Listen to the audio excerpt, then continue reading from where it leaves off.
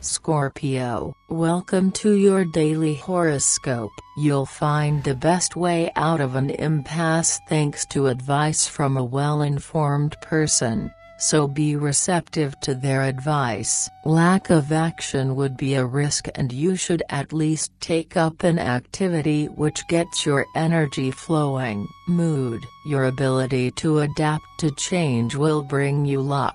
Remain open to the different choices that present themselves to you. Love Your dreams can become reality if you give them the means to, and more precisely, if you can break through a particular barrier, let loose your spontaneity, it will lead to good things. Money Certain people's enthusiasm will make you suspicious. Check things out without casting doubt over them. Work You're going to work twice as hard to finish a job today, but don't go too quickly. Have a nice day Scorpio. See you tomorrow.